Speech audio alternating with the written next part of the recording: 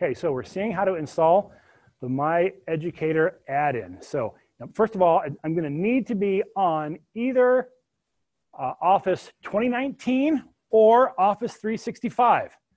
And if it's Office 365, it needs to be you know, pretty current, like at least as new as uh, Office 2019. So it's, it's possible that you have an old copy of 365 that you've done something strange to to keep it from updating, but typically it updates automatically. So if you're on 365, you should be okay. Now I'm gonna to come to the Insert tab, and right here it says Get Add-ins. Let's take me to the Microsoft Add-in Store. And then here I'm gonna search for My Educator, no space. And we should see the My Educator add-in. The My Educator add-in is a tool for doing assignments based in Office-based assignments. May require additional purchase, or in your case, it may require additional free thing that you already got. So we'll say okay, or we'll say add. Uh, yeah, there's some kind of license, that's great. And that should bring you a new icon onto your ribbon here. Uh, just looks like the My Educator logo in red. Why they chose red, I don't know, but that's what they did. Uh, so we say, okay. I'm gonna go ahead and click on this to open it. And that will bring up the little taskbar over here on the right. And now here's where I have to get my My Educator code. So for my code for the assignment. So what did I do? In Learning Suite, I, I followed the assignment here, or the assignment that's due the Fibonacci sequence, due the 27th of January. I followed that link and that opened up, took me right here. Now this code is gonna identify you. That's why you have to be logged in to be able to get your code. This is gonna identify you, identifies the right course and the right assignment. And so with that code, which I can just copy with this button right here, I should be able to come back to the add-in and paste that into the add-in. And now I'll say start. Now the add-in will communicate with the MyEducator servers, figure out what you're trying to get. It should build the right sheet, everything you need to be able to do the assignment here. So that's what we're after. So you don't have to download a file and open it. As part of the thing we're trying to get past with this new approach to doing it is that downloading, especially downloading macro-enabled workbook files that communicate with web servers off of your machine, that gets most um, antivirus software a little antsy. Um, and so there was just getting to where people were having a really hard time getting it because their antivirus was, was stopping it. Um, and so now you don't download the file, instead it um, generates it. But it turns out that for us to be able to grade VBA, we do need to get some VBA into this book. And that's what, all of your assignments will start with a page that looks like this. Hey, you got to configure this workbook for grading VBA. And it will give you a link right here. Perhaps by the end of the semester, this will already come in as a link. Right now, it's just, just a text. But if I hit F2 to enter this cell, or start editing this cell and then hit enter, once I've edited and enter it, then Excel goes, hey, that's a link. And it turns it into a hyperlink for you. Um, I, I believe that I can make that happen automatically, but for now, that's probably the easiest way to do it. Now that it's a link, you can just click it and it will actually open that workbook then directly. Uh, and this is opening a macro-enabled workbook, but there, it's a lot more mild than the other stuff that we used to download. So I'm just gonna say, okay, open up that workbook. I'll have to enable the macros. It should prompt me to enable macros. It's you know, downloaded workbook. Enable content, Do you want to make it trusted? Sure. So here's the workbook that it just opened. You'll notice I took the tabs off, uh, like the ribbon. I don't want you editing this workbook. But this workbook's part of the grading system for my educator. It's going to try to find any open workbooks you have that need to be injected. And I'll click proceed. And if everything goes well, it should find this workbook and, and give me a message. This workbook is now configured to grade the VBA portion of this assignment. That's great news. I'll close this one. I'll dismiss this one and now I'm ready to roll. How are we doing? So far, so good? Now I can hit the next button. In fact, I can hit the next button even before I do that part. As long as I do that part before I try to grade it, I should be okay. I click next, and then here it gives me the assignment. It tells us that Leonardo Fibonacci was a 13th century Italian mathematician. Whew, smart, smart guy. By the way, he's the one that got us off Roman numerals. Any of you ever tried to do math with Roman numerals? No, no one ever teaches you that. I mean, they taught you Roman numerals like second or third grade or whatever. But you don't learn math because what do you have to do? Like for addition, you have to memorize what it is. There's no help. Multiplication, subtraction, you have to memorize what they all are. That's the whole great thing about, about the Arabic number system is that it has place value. So you, you have to memorize nine things. And then you got to remember three plus four is seven. I mean, you can count it on your fingers. It's not that bad. But then you can start dealing with, with places and it goes great. It's called Arabic, but where do these, where does this approach actually originate? Do anyone know? India, yeah, this is actually India, but it came to us, it's kind of through the Arab world, so we call them Arabic numerals, but anyway. So you may have been familiar with the Fibonacci series. It make it shows up in the Dan Brown book, Angels and Demons. They talk about this particular uh, sequence. It's pretty simple. You take the, the first two uh, uh, symbols are given, zero and one, and then the next, or rather the next in the sequence is just the sum of the prior two. So one is zero plus one, two is the sum of the two before it, one and one is two, three then is the next one and so forth. Uh, and it goes on forever. It goes on forever. You only have to calculate the first 50 here in this assignment. So there's the overall uh, information. Next then we have here, make a sub-procedure to generate the Fibonacci sequence. Um, and then it gives you some more specific directions. Add a module to this workbook, create a sub-procedure named make Fibonacci. Do you think it has to be named exactly that? It so totally has to be named exactly that like so much for so that when you when you hit like you're going to grade it you're ready to grade it you hit next i'm going to make sure that i can find that before i issue you a grade i'm going to make sure that you spelled it right now what happens if you spelled it wrong if you if you spelled it wrong the, the, the grader is going to fail at this point and it will actually take you into the, the code where it's wrong not to your code but it will take you to something that i've set up for you so i have not i'm, I'm set up to grade but i haven't made this procedure yet so i'm going to click next and it's going to start to look at this and say, hey, are we doing okay? It says, no, we got a problem. Now, this is kind of an interesting, this is part of what you imported. Is it says, listen, we've got a set procedure called make Fibonacci sequence exists. It's really simple, mostly comments. And it just says, we're going to try to run the make Fibonacci sequence.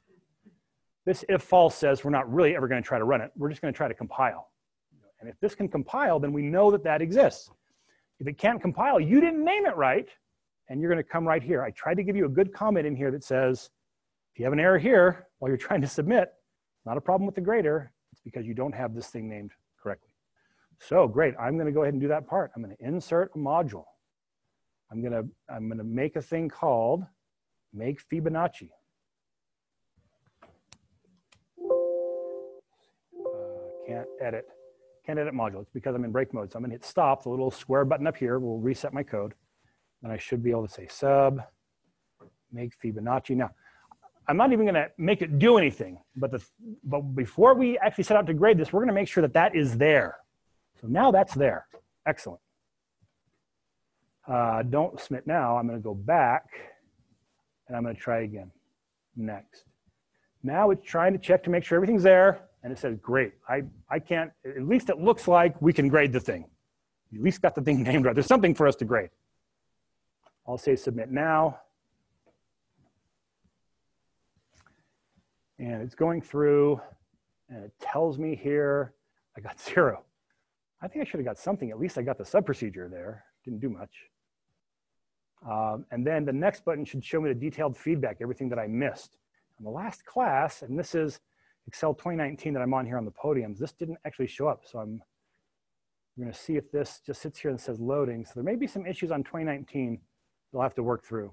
That should have shown by now, but this should show you kind of detailed feedback. Here's what you got, and here's the things that we tested that it, that it failed on, and give you some guidance on how to, how to go back and try it again. When you go back, you can just hit the try again button right here, and that should take you right back in to where you're ready to work the assignment again. You don't have to start a new workbook. You can just continue right here in the one that you're in. So uh, that's the process. Questions? Yep. Uh,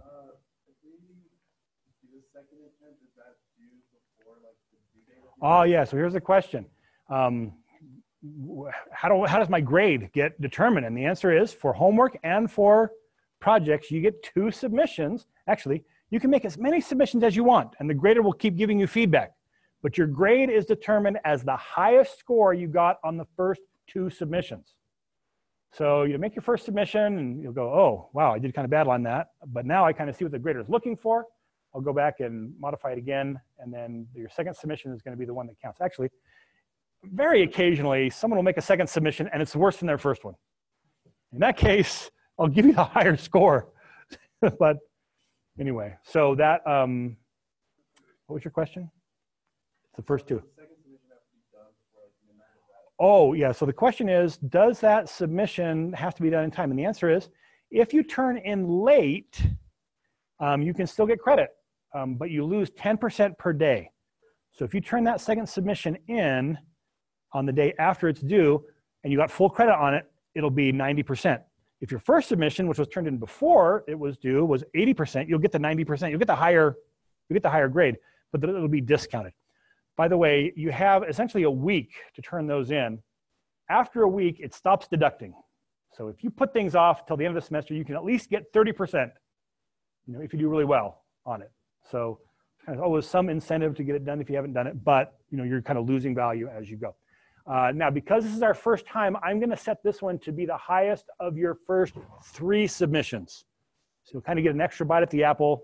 Um, it's only 10 points It's worth 1% of your overall grade. But, um, and it's really most, mostly because, you know, if something goes wrong, I want to have a little more time without me having to go and delete one of those submissions, which I will always do. Well, be glad to do. You know, if you say, wow, this went wrong for some reason, and I go, yeah, what was wrong was you coded it wrong, then, you know, it stands. But if there's some kind of other error that we're still trying to work things out, I'll be glad to delete that submission and give you another chance. The other thing you should always realize about the automatic grader is that it does a great job when you've done something close to what it expected you to do. But it's really possible for you to have a really small error that will um, like take off all the points. And so you should not look at the auto grader as the final resolution of your grade unless you're happy with it. If you're unhappy with it, you know, you're gonna look at it and say, you know what, I, I don't think this was fair. And the truth is the auto grader doesn't think at all. And so you're already starting off from a pretty good position. So in that case, you'll come and see me and we'll take a look at it and I'll, I'll say, you know what, I totally agree with you. You deserve, you know, you don't deserve 20%, you deserve 80%, you know, for this. So maybe probably not full credit usually, but so anyway, that, um, that's kind of how gradings will go. Your question?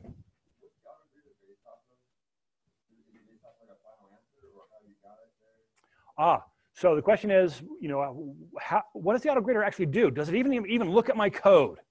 And the answer is we kind of went round and round on this, how we should do it. It is possible for this auto grader to look at your code, but for that to happen, you have to come in here and say on the developer tab, macro security, eh, allow trust access to the VBA project. That would let me actually go look at your code.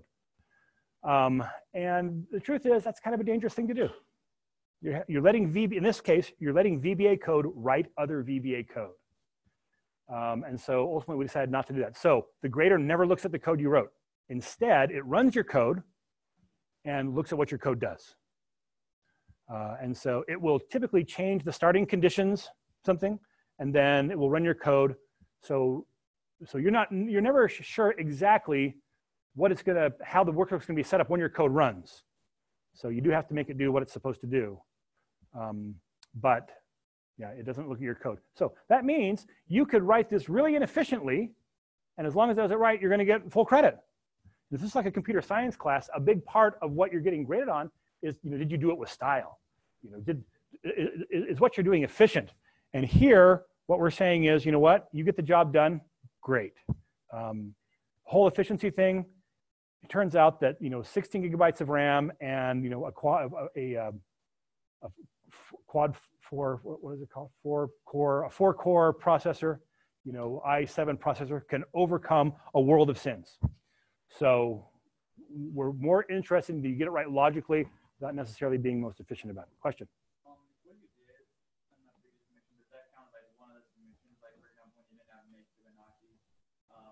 Ah, yeah, yeah. So the question is, when when does it count? I hit next, and it's going through here, and if it had a failure here, was that a submission? The answer is no. Everything that happens before you get to the submit now button, that's a courtesy check. That's me going, you know, let's just check and make sure that it looks like there's something to grade here. We don't want you to be on a blank workbook and hit submit and then get, get zero for it. So yeah, until you hit the submit now, that's when it's gonna count. Okay, question?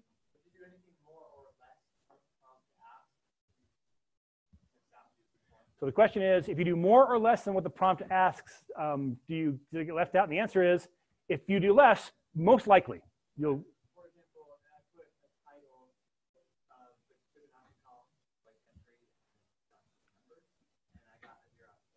Ah, okay, yeah. So here's what the great student has said here. I made it look like this.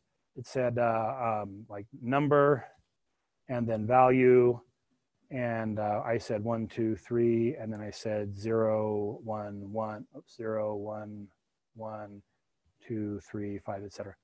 Um, now, what this is supposed to do, what the instructions tell you to do, is make it so that wherever the active cell is, you start the Fibonacci sequence there. So it'll be zero, one, two, and, and moves down. So if you started, if you, you know, if the active cell was here, and you push this other stuff off to the left and down, and your Fibonacci sequence actually went down from the active cell, that should give you credit. Um, and if it didn't, you know, this is, remember, this is all new. And so let's come, help me understand, you know, why it failed and take a look at it and, you know, come see me in my office. So yeah, the one thing that could be dangerous about this is that, you know, if your code says, you know, go over here, if I run it in column A, you're sunk. That's not what happened here because I know where I run it, it's not column A. Um, because you'd be trying to, to, to I don't even know what comes before A, but you'd be trying to reference a column that doesn't exist, and that would cause a problem. So, yeah, yeah. Remember, this is not going to be especially elegant this first semester through this, but it was especially free. Yeah. So, anytime there's an error, that's what you're going to the, the mantra. You're going to say, well, at least it was free. All right. We're expecting there to be issues as we work through here. Okay. Other questions? Okay. So I'm going to stop that recording. I'll make that a separate recording. Um, I'm going to stop recording. Is there one that said, oh yeah, stop recording right there. Do you want to stop cloud recording? Yes, I do.